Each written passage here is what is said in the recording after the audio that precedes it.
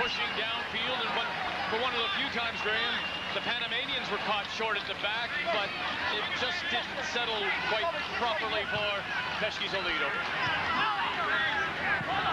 They still have got so many extra men covering at the back. They got two up front, they got three in midfield, and six at the back.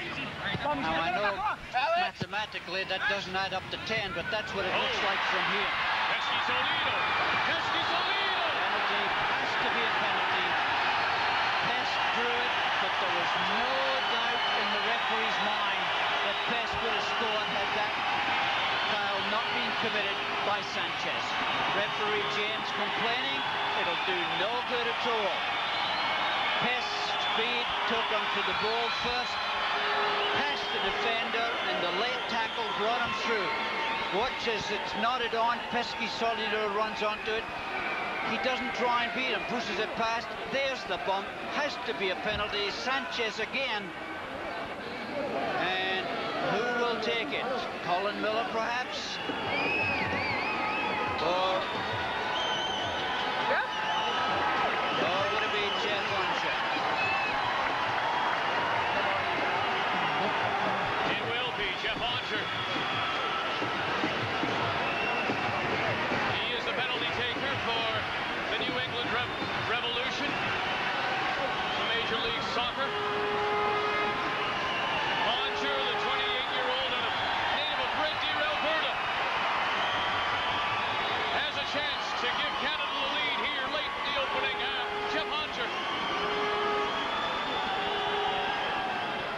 Ricardo James, one of the best goalkeepers in Central America.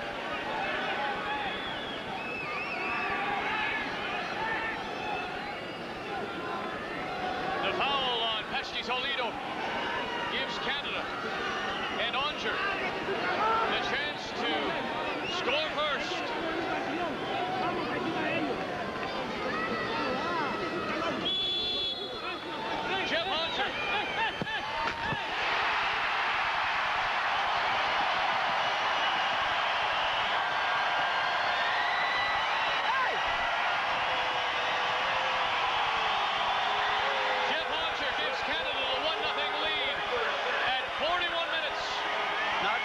goal scorer, but cool, calm and collected. Geoff Aunger sends Ricardo James the wrong way. Goalkeeper guesses, but guesses wrong. And Canada lead 1 to nil. And I don't think that Luis Carlos Sanchez can complain about that decision. It had to be a penalty beautifully taken by Geoff